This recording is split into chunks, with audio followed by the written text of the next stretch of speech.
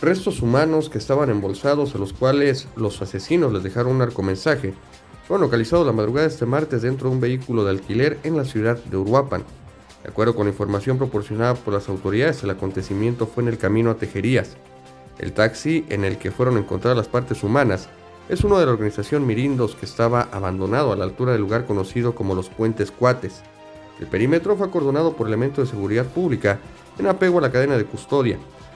Se pudo saber en el trabajo periodístico que los vecinos del lugar alertaron a la policía de que en un automotor del transporte público que estaba abandonado en la zona desde hace varias horas, había unas bolsas de plástico de color negro de las cuales escurría sangre.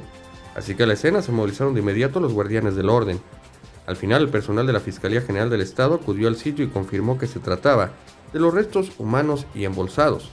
Además, halló y aseguró un narcomensaje que versaba sobre la pugna entre grupos criminales rivales. La carpeta de investigación fue emprendida por los expertos de la Fiscalía.